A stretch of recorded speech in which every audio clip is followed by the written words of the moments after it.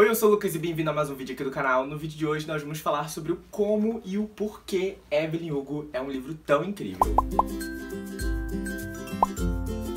Basicamente, eu anotei aqui no meu caderninho de Doctor Who que vocês já conhecem, sete motivos...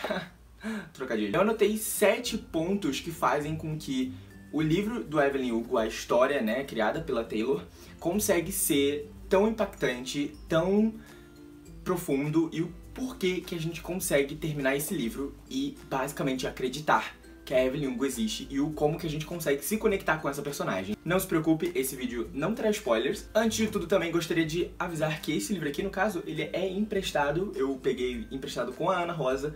O Instagram dela é maravilhoso, vou deixar aqui na descrição. Vai lá seguir ela, fala Rosa.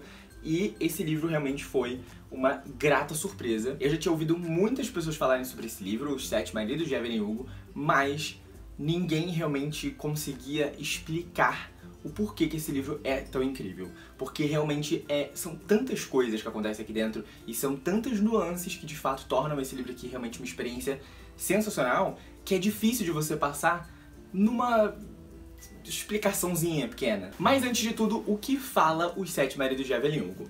Basicamente a história disso aqui é sobre a Evelyn Hugo, que ela é uma mulher, assim, nessa década em que estamos vivendo aí, de 2010, ela basicamente já está aposentada, ela era uma atriz muito, muito, muito famosa de Hollywood, ela foi vencedora do Oscar, já fez várias produções incríveis para o cinema e ela era o ícone do cinema lá de, dos anos 50, 60, 70 e ela de fato é daquelas pessoas que a gente olha e pensa assim: meu Deus, essa pessoa é perfeita, ela não deve ter um erro, ela é incrível, quando eu crescer eu quero ser igual a ela, ou me casar com uma pessoa como tal. E logo de cara a gente já conhece também a Monique, que é uma jornalista que trabalha para uma revista e foi convidada pela própria Evelyn Hugo para dar uma entrevista. No caso, né, a Monique vai entrevistar a Evelyn Hugo e a Evelyn é uma pessoa super reclusa, ela nunca deu entrevista, ela não fala sobre a vida dela pessoal para praticamente ninguém. E logo de cara a gente também entende que a Evelyn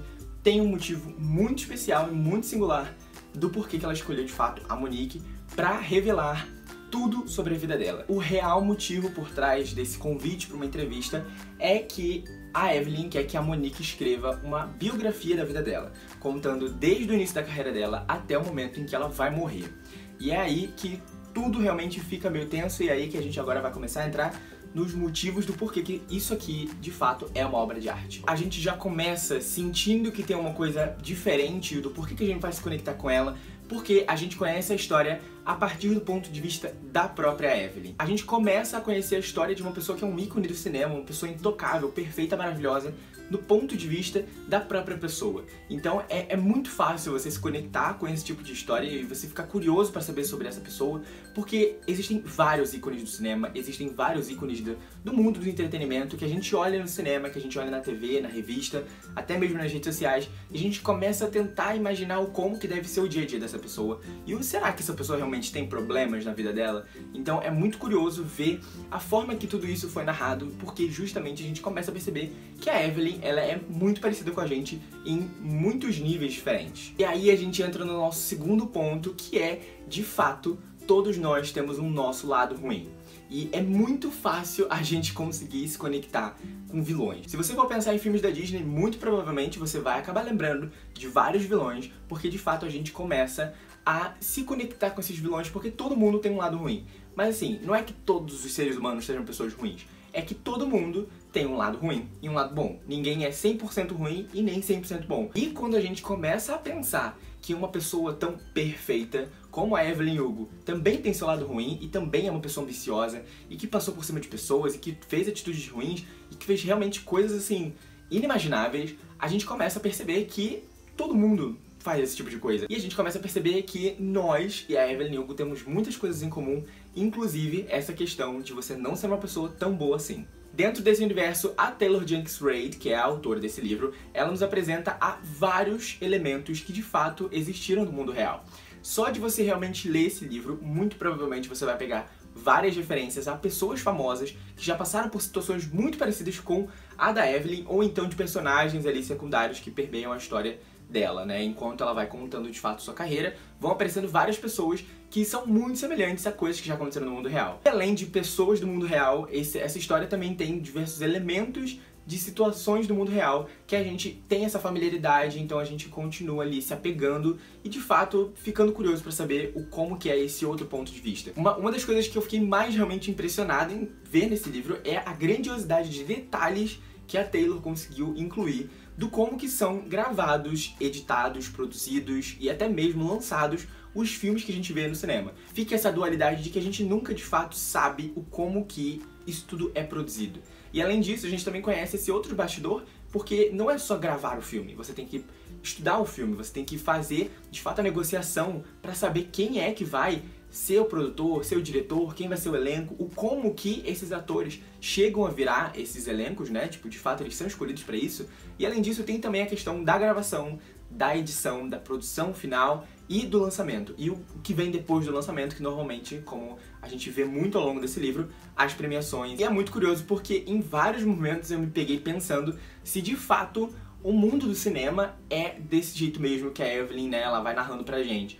Porque é tão realista e tão próximo desse mundo real, que pelo menos eu consigo imaginar que aquilo ali é real, eu realmente fico pensando se de fato as coisas acontecem dessa maneira. E nisso a gente entra também num outro ponto muito crucial, que é a invisibilidade bissexual. Principalmente no século passado, se você não era heteronormativo, não é mesmo? Se você não tivesse ali um homem, uma mulher, isso já se tornava um grande caos. E ao longo do livro a gente conhece diversos personagens que são lésbicas, gays e até mesmo bissexuais. Só que dentro dessa questão do aspecto bissexual, a gente entra em uma discussão muito pertinente do que a gente sempre tenta pegar essa pessoa que é bissexual e jogar ela ou pro lado ou pro outro. Ela não pode ser bissexual.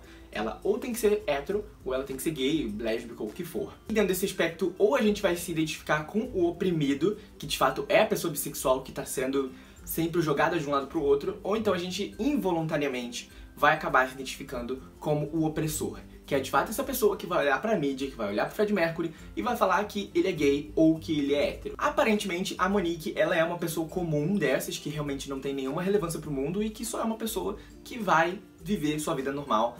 Mas a Evelyn logo de cara diz que ela tem um motivo muito especial para ter chamado a Monique para ser a autora dessa biografia dela. E são diversos pontos específicos da história da Evelyn que fazem com que a Monique reflita sobre as coisas que ela está fazendo da vida dela. E não só isso, como também a gente consegue ver esses elementos que tem na vida da Monique e ver os elementos que tem na vida da Evelyn e começa a ligar os pontos para tentar identificar o porquê que de fato ela foi escolhida. E o sétimo e último ponto é realmente, eu acho que a coisa que eu mais gostei dessa história, porque a gente conhece a história da Evelyn Hugo do início ao fim. Como isso vai ser uma biografia da história da Evelyn Hugo, a gente vai conhecer de fato a vida dela desde que ela era uma criança até o momento em que ela eventualmente vai morrer, porque ela já disse que esse livro só vai poder ser lançado quando ela bater as bombas. E também no início ela diz que ela não vai precisar se preocupar em ficar medindo palavras, porque de fato todas as pessoas que poderiam se ofender ou ser pre serem prejudicadas por alguma coisa que ela disser não vão estar mais vivas, porque de fato todas as pessoas envolvidas nessa história estão mortas. Então, a gente já começa a perceber que os personagens todos que eventualmente vão aparecer dentro desse livro, eles vão acabar morrendo de algum motivo ou de alguma forma, ou pelo menos sumindo da vida da Evelyn Hugo a ponto dela não se importar com o que vai acontecer com eles depois que ela morrer. Por esse motivo da gente acompanhar ela desde que ela era uma pessoa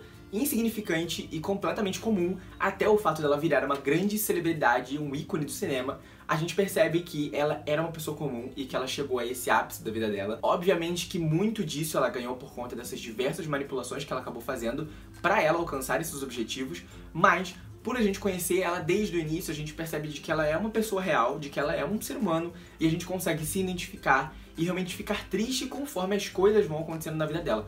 Principalmente do meio pro final do livro, que é quando as coisas realmente começam a ficar um pouco mais tensas. E também do início até o fim a gente conhece a história da própria Evelyn Hugo e como eu falei, é do ponto de vista dela.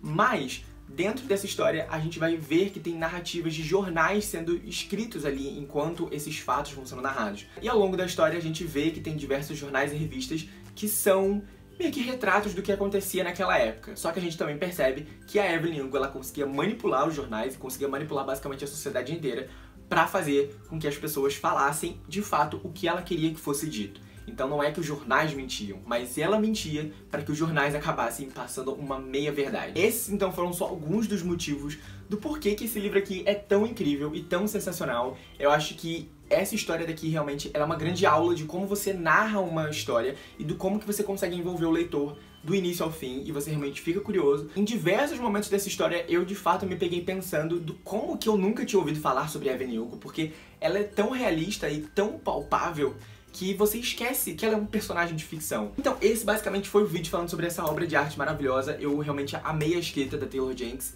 e quero muito ler outros livros dela. Então, se você já leu algum outro, me deixa aqui nos comentários. Inclusive, se você já leu Evelyn Hugo, me deixa aqui nos comentários qual foi a sua opinião sobre esse livro maravilhoso, incrível. E se você ainda não leu Evelyn Hugo, mas quer fazer isso, aqui na descrição eu vou deixar o link tanto da Amazon quanto do Submarino para você ir lá e conferir. Se você fizer isso, você vai estar ajudando muito o canal a continuar crescendo. É isso, se você gostou desse vídeo, deixe seu joinha aqui embaixo, se inscreva aqui no canal se você ainda não é inscrito e nos vemos no próximo vídeo. Tchau!